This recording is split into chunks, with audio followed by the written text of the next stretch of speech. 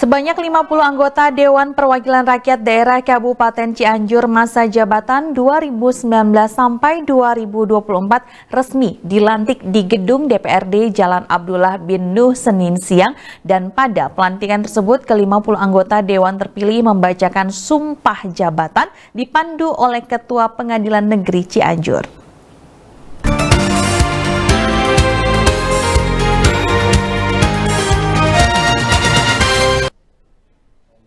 Dengan dipimpin langsung oleh Kepala Pengadilan Negeri Cianjur Teguh Sarosa.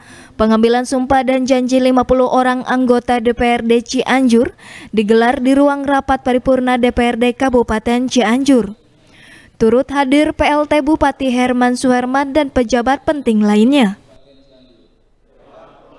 Pelantikan dan pembacaan sumpah atau janji jabatan didasarkan pada amanat pasal 106 Undang-Undang Nomor 23 Tahun 2014 tentang pemerintahan daerah. 50 anggota DPRD yang dilantik, di antaranya terdiri dari Partai Gerakan Indonesia Raya 11 kursi, Golkar 8 kursi, Nasdem 6 kursi, PDIP 5 kursi, Demokrat 5 kursi, PKB 5 kursi, PKS 5 kursi, PAN 3 kursi dan Partai Persatuan Pembangunan mendapat 2 kursi. Dari jumlah tersebut sebanyak 40% persen anggota yang lolos merupakan wajah baru wakil rakyat Kabupaten Cianjur.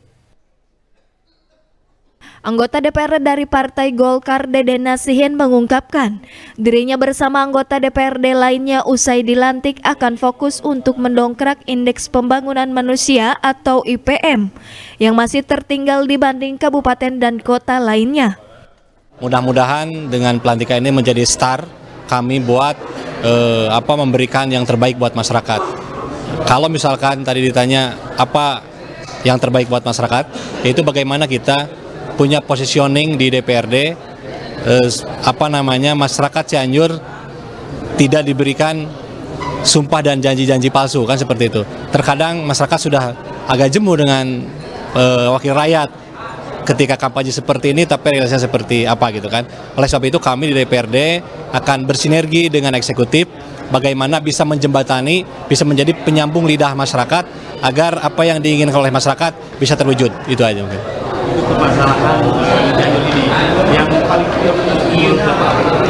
uh, saya pikir kita tidak jauh dari IPM ya karena IPM kita sangat rendah uh, daya beli, pendidikan dan kesehatan.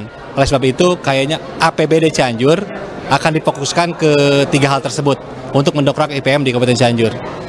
Pihaknya juga berharap lima tahun ke depan seluruhnya anggota DPRD bisa bersinergis dengan eksekutif demi membangun Kabupaten Cianjur lebih maju dan agamis. Heri Setiawan, Bandung TV.